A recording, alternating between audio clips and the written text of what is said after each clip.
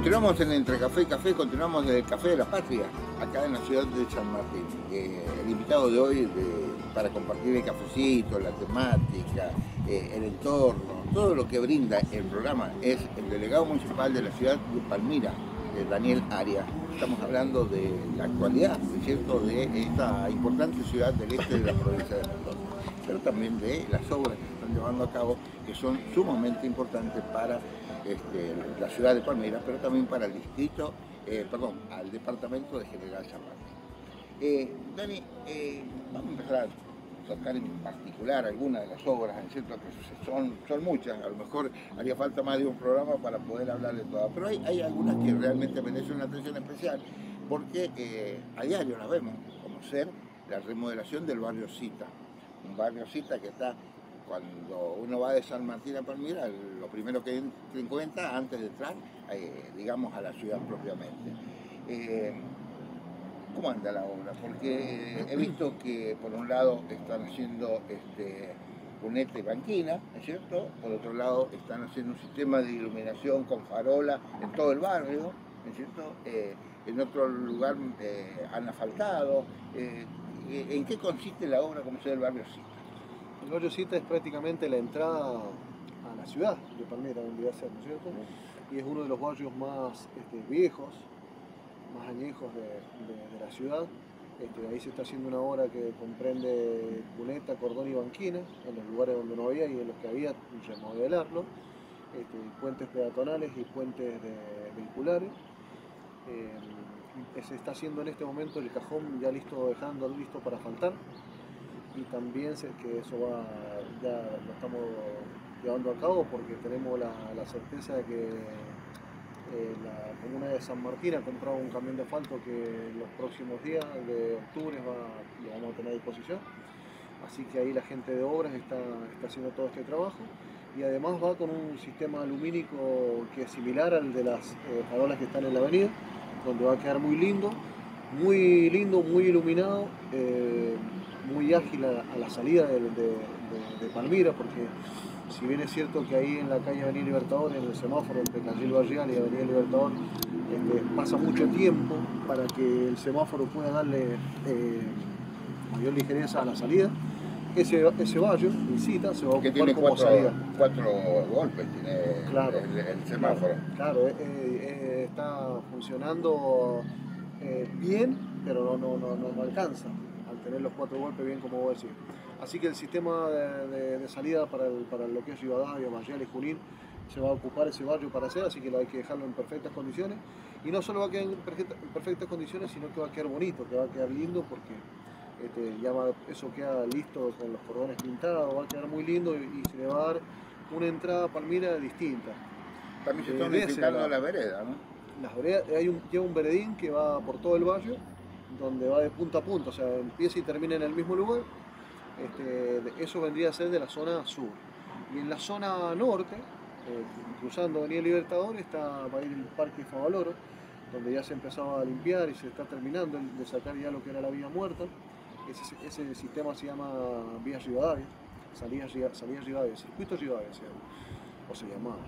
Bueno, eso ya estamos sacándolo para empezar a hacer, porque ahí al lado de la, de la pileta del Club Palmira va una cancha de la cancha auxiliar para divisiones inferiores, que juntamente la estamos haciendo con la gente del Club Palmira, con el cual tenemos una, muy buena relación.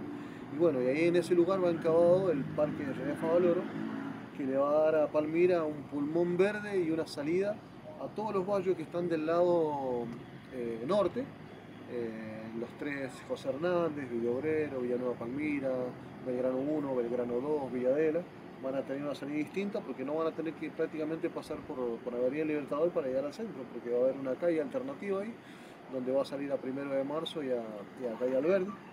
Así que estamos muy entusiasmados con esa obra porque no solo va a ser bonita y agradable a la vista, sino que va a ser muy ágil para la salida.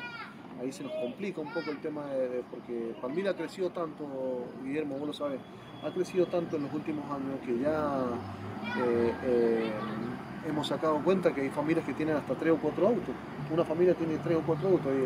Entonces, este, claro, si los ponemos todos a, funcionar en la calle, se colacionan todos los, circuitos, pero eso nos va, a, dar eh, mayor agilidad, así que estamos muy contentos con esa obra, ya sea de, de los dos lugares, de los dos lugares porque nos va a dar agilidad y belleza al mismo tiempo. O sea que eh, realmente es, uno de los problemas que tiene Palmira, el que vos te referías ahí eh, este, en cierta manera. Y lo traté yo en el programa la semana pasada, ¿no? Lo hablé con Oscar González, el secretario de gobierno, y le decía que realmente yo felicitaba eh, a quienes habían ideado la remodelación de todo el centro de San Martín, porque si no hubieran hecho todas las calles que han hecho con las entradas para estacionamiento, yo no sé a dónde se podía estacionar, porque así todo cuesta estacionar, con todas las playas que se han hecho y, los estacionamientos. en Palmira. Bueno, y le decía yo que en Palmira van a tener que también ver eh, algo para eh, estacionar o ver que se puede hacer, porque hay, cuando vamos fin de semana, más que todo, un día sábado, es, es terrible la cantidad de vehículos que hay en Palmira. ¿no? Ha crecido mucho el parque automotriz de Palmira. Eh, y, también tenemos, tenemos algo que, una idiosincrasia que tenemos en esta zona de, nuestro país también, que queremos estacionar en el lugar justo del negocio. No podemos caminar 200 metros, nosotros tenemos, que estacionar en el lugar donde nos vamos a parar.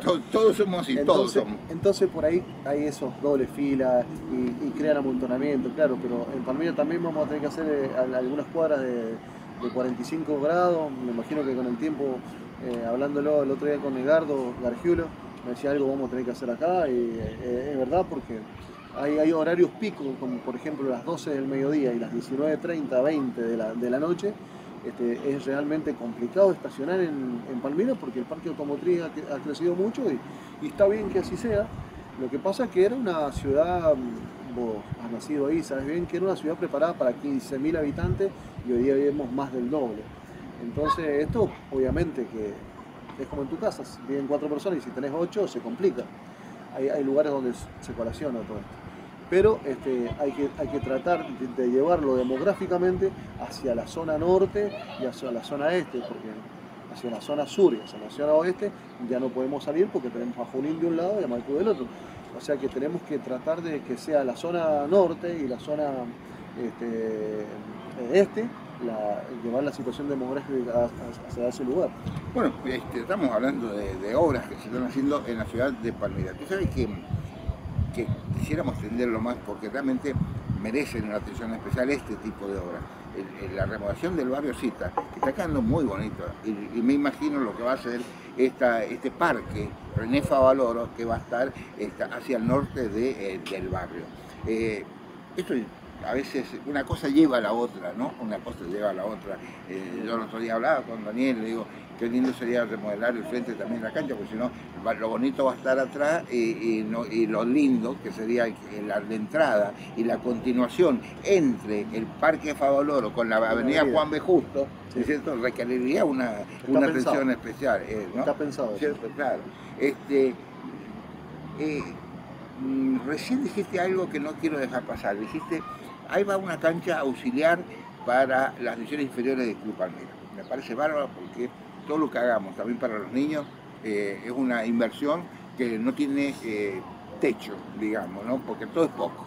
Pero eh, están trabajando con, el Club Palmira, ¿cómo, cómo han hecho? Porque también hace rato decíamos que cuando las cargas se llevan entre barrios es mucho más fácil. Sí, gracias a Dios este, este último año el presidente del Club Palmira, el señor Raúl Moyano, este, ha decidido este, que hacer crecer a Palmira no solo en el deporte, sino crecer en, en obras y en divisiones menores.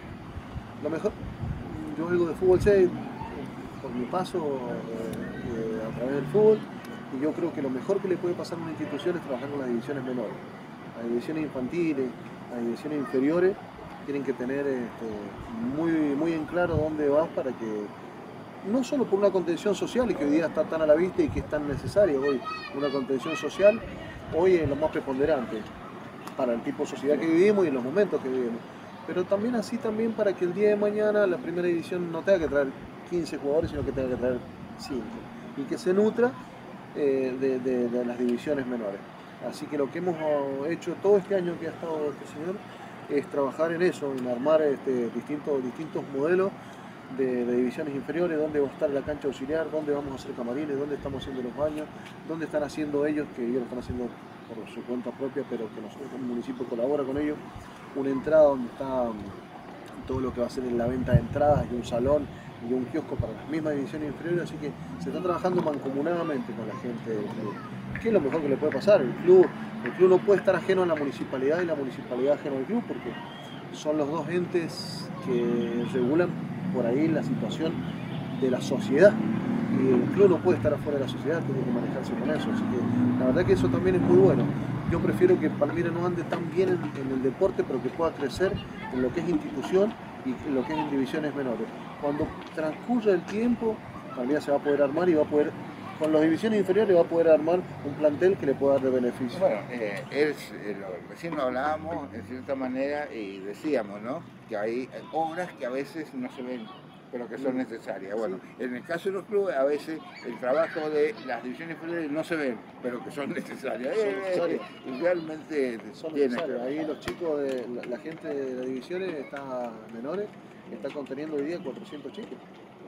Y si vos le sumás que esos 400 chicos que trabajan ahí en el Club Palmira, le sumás los 800 chicos que trabajan, chicos y adultos mayores también, o adultos juveniles, que trabajan en el Club Imperial, en el poli que ya está, lo terminamos de cerrar, que vos tenés 1200 chicos o, jóvenes contenidos en lo que es la parte del deporte, más los que vos puedas contener en cultura, vos te lográs tener un cúmulo de personas ocupadas en el deporte, ocupadas en la cultura, ocupadas en qué hacer y no por ahí transitando una esquina. Bueno, este, estamos hablando con el, delegado municipal, estamos haciendo un mix de temas que realmente van entrelazados entre sí. Eh, me dio pie, Daniel, ¿cierto? para seguir con otra de las obras que de Palmira, que es el poli un poli que está quedando muy bonito, que ha merecido una atención especial de nosotros durante eh, dos eh, últimas revistas de Noticias de Café. Hemos sacado alguna foto para que ya nos vamos metiendo en clima y que van a merecer una atención especial cuando se inaugure el poli, ya, ya está totalmente cerrado, está pintado, bueno, eh, faltarán a lo mejor algunas cosas porque nunca se acaba, en este tipo de obras nunca se acaba, pero que merece este, una atención sumamente especial porque más de 200 chicos y mayores van a disfrutar de esas instalaciones. el poli está quedando muy lindo, le faltan solamente detalles. Eh, yo esta mañana estuve con el, con el encargado Diego Ponce y le preguntaba qué te está faltando. Es verdad, le están faltando algunos detalles de pintura. Eh, normalizaron la entrada porque el portón es muy grande, tenemos que ver cómo lo hacemos, pero quedó totalmente cerrado. Este, va a ser un, lugar donde en el invierno también se va a poder ocupar, que ese siempre ha sido un lugar de verano, este, pero en el invierno, este invierno también lo vamos a ocupar. Realmente lo que es el sistema de luces es extraordinario, ha quedado de día. Este, y se ha trabajado muy, pero muy bien en la parte deportiva, con más de 40 profes a disponibilidad y a disposición de lo que es la sociedad de Palmira. Así que le, faltan solo detalles. Después el intendente tendrá que ver cuándo lo inaugura o no. Pero la verdad que es muy, bueno, es muy bueno el lugar. Eh, seguramente, con total seguridad, va a quedar chico. Y sí, porque así ocurre, ¿no? Pero eh, hasta hace un tiempito no teníamos poli. Ahora disfrutemos y valoremos lo, que tenemos. Claro, va a quedar chico porque la cantidad de gente que va lo va a superar. Pero la verdad que es muy bueno porque está, es disciplina tras disciplina. Yo he estado, hay veces tardes enteras y va, termina una disciplina, empieza la otra, termina una disciplina, empieza la otra y son las 12 de la noche y vos tenés gente ahí. Muy bueno. Y bueno, si tienen, tienen 40 profesores, se imagina que lógicamente es porque tienen muchos alumnos, digamos, este, ocultores de deporte para enseñarlos. Este, Dani, eh, Hemos empezado con varios citas, seguimos con el Parque Favaloro, eh, hemos hablado del Poli, eh, hemos, nos hemos referido a esta obra Tapito Hispana que es en los barrios del sur de, de Palmira, ¿es cierto? Eh, hay, una obra que, que todavía no sé por qué este, o qué le falta, que está quedando muy bonita, muy bonita, que es el cine. El cine, el frente está muy bonito, muy bonito. Yo en una ocasión yo le decía eh, eh, al intendente, le digo, bueno, por lo menos pongamos un café en la parte de adelante como como tiene acá el, el, cine de acá del centro, ¿no es cierto? Que tiene una pequeña confitería, cafetería, etcétera, etcétera en la entrada, y ya lo podíamos estar jugando. ¿Qué pasa que no se... El cine se está trabajando, pero no de la manera que a lo mejor eh, nosotros quisiéramos, digo nosotros como el intendente y también como Edgardo, que es el encargado de obra, el encargado, el secretario de obra. Este, la verdad que se está trabajando, pero no al ritmo que nosotros necesitaríamos. Lo que pasa es que lo que se ha hecho, se ha hecho únicamente con plata de arca municipal. Y lo que estamos esperando es que también nos, llegue alguna plata extra para poder terminarlo. Este, adentro del cine las instalaciones están, bueno, podemos tener a lo mejor la posibilidad de estar adentro, pero la verdad que adentro las instalaciones están muy, pero muy buenas, de muy buena calidad.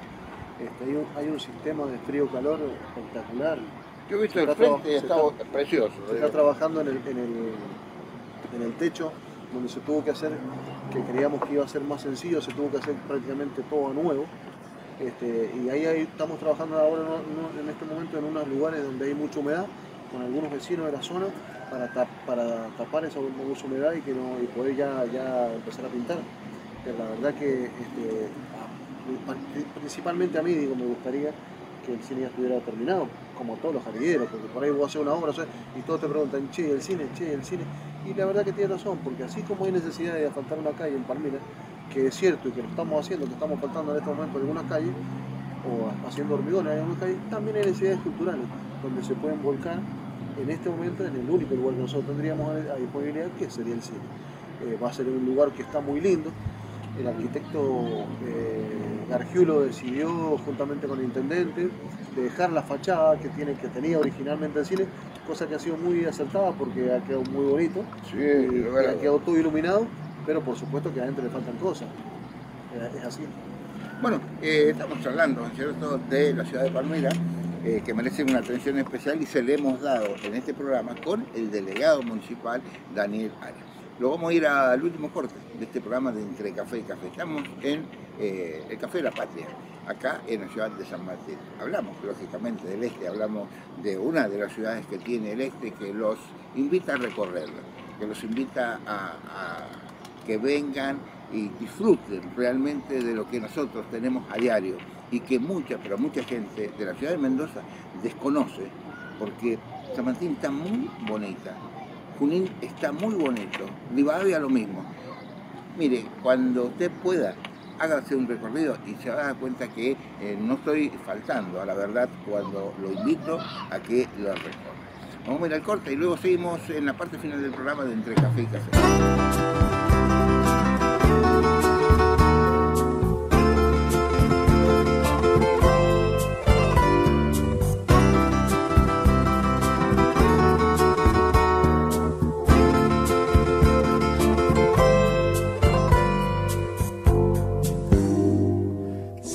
Tu recuerdo entorpecido, vuelve en el otoño atardecer. Miro la garúa y mientras miro, gira la cuchara de café. El último café que tus labios con frío pidieron esa vez con la voz de un suspiro.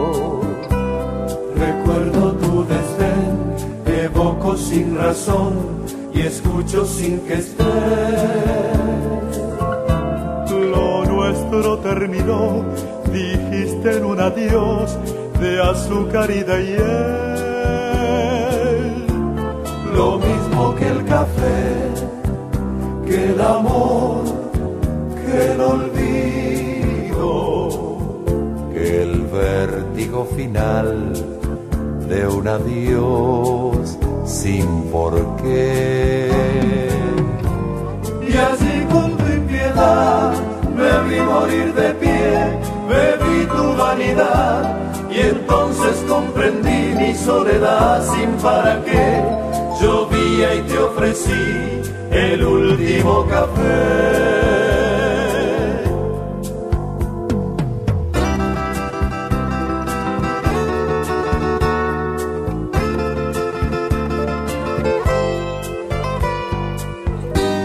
Lo mismo que el café, que el amor, que el olvido, que el vértigo final de un adiós sin por qué.